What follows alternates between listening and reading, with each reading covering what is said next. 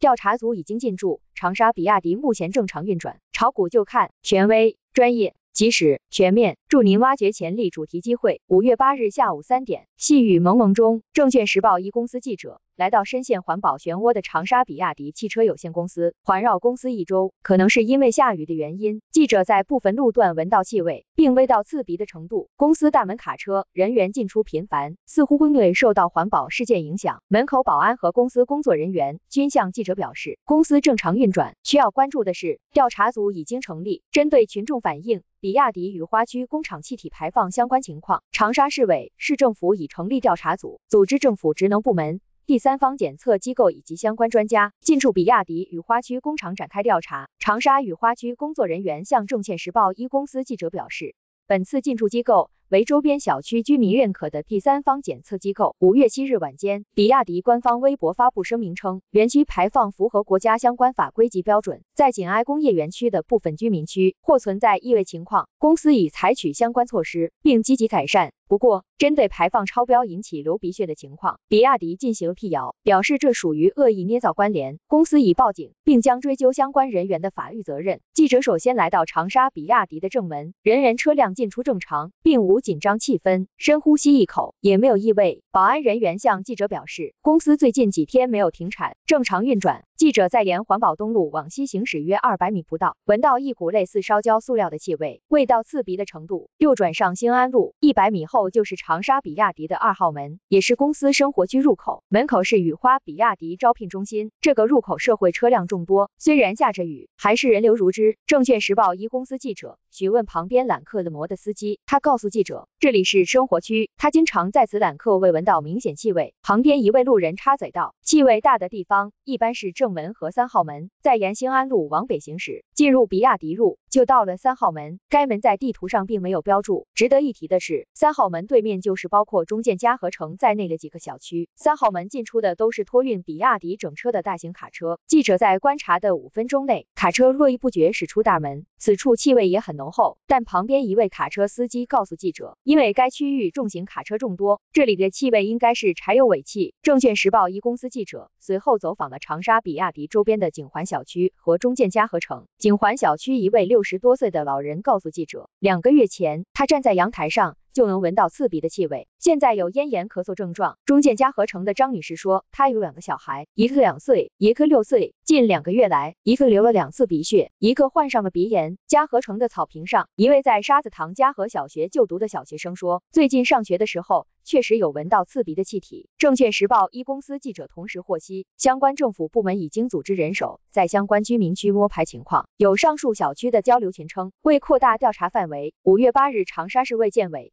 教育局、生态环境局三个部门联动，将派专人到中建嘉和城小区调查情况。但截至记者发稿，上述调查会暂未召开。在长沙雨花经开区管委会，一位工作人员向证券时报一公司记者表示。目前，长沙市委、市政府已经成立调查组，政府一向把的生命健康放在第一位，希望外界给调查组一点时间。此外，该人士表示，目前并未收到长沙比亚迪的停产通知。公开资料显示，长沙比亚迪成立于二零零九年八月，由比亚迪汽车工业有限公司。和比亚迪汽车销售有限公司共同投资，注册资本十亿元，坐落在长沙雨花经济开发区，占地面积约一百八十万平方米。二零二一年五月二十七日，比亚迪公告称，长沙工业园主要生产一一、一二、一三等一系列车型，与滴滴出行合作的网约车专用车型第一，以及原 EV、宋 MAX 等车型。截至二零二零年末，整车年产能为二十万辆。